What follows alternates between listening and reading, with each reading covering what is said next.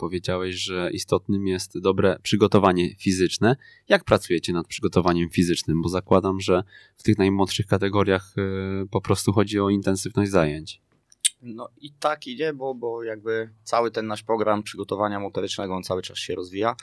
E, na dzisiaj doszliśmy do takiego momentu, w którym ograniczeniem jest baza i mamy już kilka pomysłów i projektów, które będziemy nie, że będziemy mogli, tylko je wdrożymy, ale dopiero po otwarciu, e, otwarciu nowej bazy. Jeśli chodzi o grupy młodsze, e, oczywiście w kategorii skrzata, w kategorii żaka i tak wierzymy głęboko, że jakby ruch wszechstronny, ta, ta, ta podstawa taka tej, tej, tej piramidy ogólnorozwojowej to jest coś, co, co później na pewno świetnie wpłynie na, na cały rozwój tych zawodników. Natomiast od kategorii Orlika, czyli Orlik Młodzik, 30 minut raz w tygodniu z e, trenerem przygotowania motorycznego, głównie akcent na jakby sposoby poruszania się, technikę ruchu, koordynacyjne zdolności motoryczne, troszkę prewencji, troszkę stabilizacji. Natomiast zespoły 11-osobowe to już jest kompletny program przygotowania motorycznego. Mm, czerpiemy z e, jakby mogę tak powiedzieć, dobrodziej z tego, że funkcjonujemy już w, jakby na, na poziomie piłki 11-osobowej w strukturze klasy sportowej, gdzie mamy jednostki rano i po, po południu. E, zastanawiamy się cały czas, jak to zeewoluować, jak to, jak to zmodyfikować. Jest kilka, jest kilka pomysłów, ale tam już jakby pełen zakres od, od regeneracji po, po treningu, po trening taki, który, który kształtuje, który coś buduje, trening siłowy, też technika ruchu, prewencja, e, ale to już znowu departament, że tak powiem, przygotowania motorycznego, też specjaliści, którzy to, którzy to robią i wdrażają.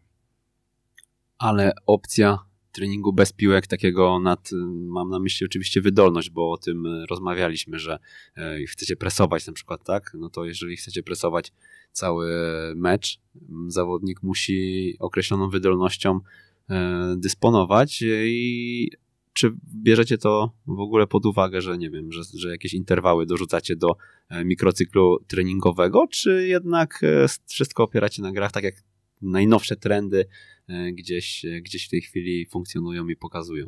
Jeśli chodzi o trening ten piłkarski, to staramy się to robić jakby w oparciu o te metody zintegrowane. Natomiast funkcjonują wyizolowane jednostki motoryczne i tak jak powiedziałem wcześniej, one odbywają się rano. W zasadzie na dzisiaj wygląda tak akademia, że rano zajmujemy się rzeczami dookoła piłki nożnej, a po południu zajmujemy się e, piłką nożną. Ale, ale my nie boimy się ciężkiej pracy, więc, więc i ten interwał jest skazany, i, i bo też robiliśmy badania, e, które, które nam gdzieś pokazały jednoznacznie, że w, nie zawsze, nie każdy zawodnik w, nawet w świetnie zorganizowanej małej grze jest w stanie wejść na najwyższy, na najwyższy zakres y, pracy tętna, a nam zależy do tego, żeby na tym, żeby mm, w kontekście motoryki no w zasadzie dochodzić do tej granicy zmęczenia, tą ścianę swoją e, przepychać. Dlatego osobna jednostka w siłowni, dlatego jest osobna jednostka też i motoryczna, tylko tak jak mówię, staramy się na dzisiaj robić to rano, żeby popołudnie poświęcić na, na model gry, na, na, na aspekty piłkarskie.